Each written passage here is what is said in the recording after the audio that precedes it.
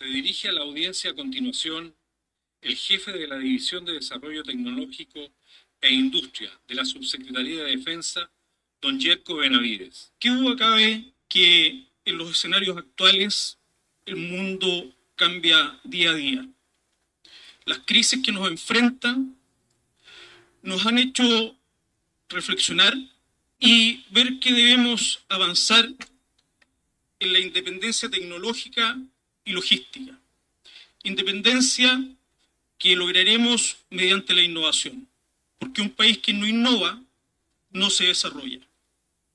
En este sentido, las empresas estratégicas de defensa son un motor, un tractor de la innovación en el país. Y son ellas las que impulsarán en gran parte esta independencia logística y tecnológica. La Armada y ASMAR lo comprendieron hace muchos años y comenzaron su plan de construcción naval continua, que hoy se desarrolla con la construcción, construcción del rompehielos y los buques multipropósitos. Y continuará con otros desarrollos que vendrán posteriormente. La Fuerza Aérea, a través del Sistema Nacional Satelital, el desarrollo del programa Villan 2, un sistema de entrenamiento para pilotos, también son núcleos de esta innovación en defensa. Pero esta innovación no puede quedar solamente en defensa. Esta innovación debe ser transferida al ecosistema civil. Y por eso el Ministerio de Defensa ha impulsado el estudio y la creación de un Instituto Tecnológico Público de Defensa, a fin de que esta tecnología, esta innovación pueda ser puesta rápidamente traspasada desde el ecosistema de innovación militar al civil. Y también todo lo que está haciendo el ecosistema civil pueda ser aprovechado por el mundo militar. De esta forma cerraremos el, ciclo, el círculo e integraremos ambos ecosistemas. La única forma de que podamos hacer funcionar definitivamente la triple hélice, el Estado, la academia y la empresa. Eso es lo que yo quería expresarles hoy. Estamos decididos en avanzar en esto con hechos concretos como la creación de este Instituto Tecnológico Público de Defensa. Gracias.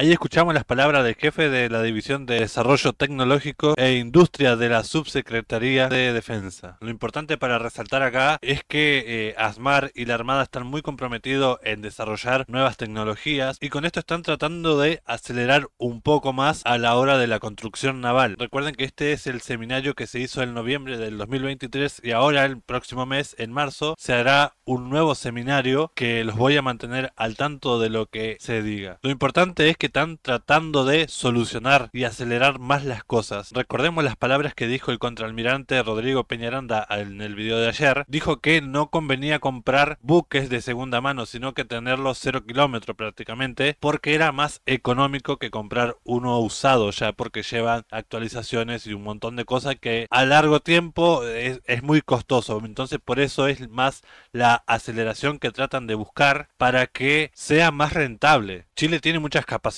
tiene buenos astilleros y tiene la tecnología necesaria. Obviamente que hay tecnología, como se dijo ayer, que hay que comprar, pero bueno, Chile tiene las capacidades de poder desarrollar una tecnología nueva que por el momento no sería lo, ideal, sino que buscarían fabricar ya buques o fragatas que, que ya se sepa que sean funcional, que no tengan problema. Pero bueno, quiero ver las opiniones de ustedes en los comentarios. Me queda una parte más de este seminario, la voy a analizar bien porque no sé si dice algo muy interesante, así si veo que dice algo muy interesante se lo voy a compartir. Así que estén atentos. Y nada, gracias por ver el video. Si lo pueden compartir, me ayudan un montón. Nos vemos en un video próximo. Bye bye. Adiós.